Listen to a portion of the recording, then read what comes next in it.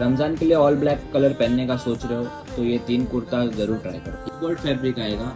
इससे ये फैब्रिक से फिटिंग एकदम परफेक्ट रहती है और स्लीव्स में आप लोगों को देखेंगे नेटवर्क का डिज़ाइन रहेगा और स्टैंड कॉलर में आएगा जिससे कि और भी प्रीमियम लुक आता है जैसे कि मैंने वेयर किया। सेकंड आउटफिट है गोल्ड वर्क चिकन कुर्ता जिससे कि एकदम प्रीमियम लुक आता है इससे एकदम गोल्ड शाइन आता है गोल्ड वर्क का काम किया हुआ है इस पर सिक्वेंस है पूरा कुर्ते पे।